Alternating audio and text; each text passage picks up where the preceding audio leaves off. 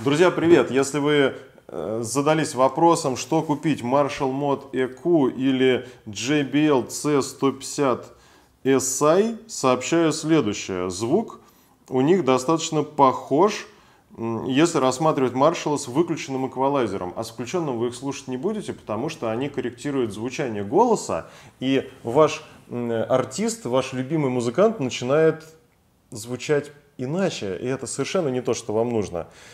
Маршалу скучнее, чем C150 SI. У красненьких C150 больше деталей. Например, слышно вот такое причмокивание в голоса, переборы гитары более детальные.